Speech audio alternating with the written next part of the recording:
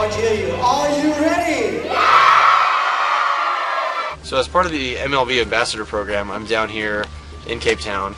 Baseball, for me, was my goal. It was my goal to make it in the major leagues as a nine-year-old kid.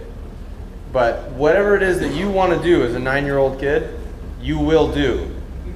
You can do.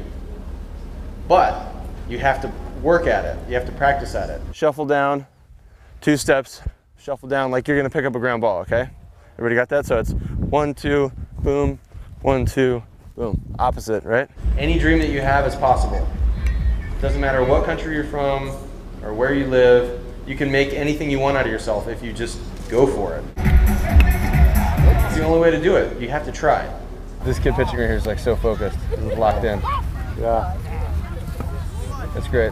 We got kids pitching, we got T-ball over here, We got so T-ball here, we've got kids pitching there, and we've got coach pitching on top there. Gotcha. Just to cover all the bases. I never had access to facilities like this. So it's, it's really cool that, that Major League Baseball is contributing to this. How do we use the mound properly to generate more velocity, more control, more sharpness on the breaking pitches? That's the real key, okay?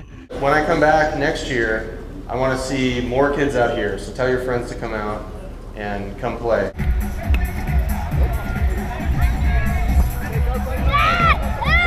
because baseball is awesome, sports are awesome, and the, the harder you work at them, the better your life is going to be, and I promise you that. You guys will have happy, happy lives if you if you stay in baseball, if you stay in school, if you stay off drugs.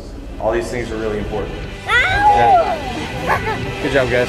Anything is possible, whatever you want.